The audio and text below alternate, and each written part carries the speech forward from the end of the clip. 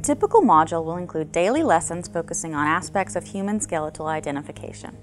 There will also be weekly or biweekly video case studies, textbook readings, and articles from peer-reviewed publications.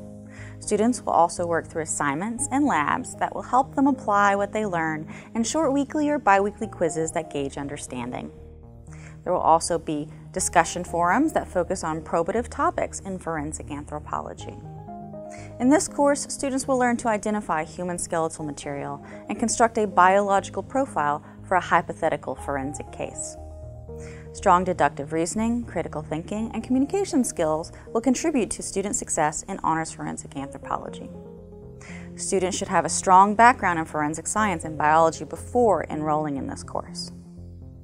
Use your time wisely and do not procrastinate. Module pacing guides, announcements, and due dates are provided throughout the course so the students have a roadmap to tackle assignments and course material. Let your instructor know if you are struggling with an assignment or a concept in the course. We're here to help and guide you. This course requires a considerable amount of reading and several writing assignments.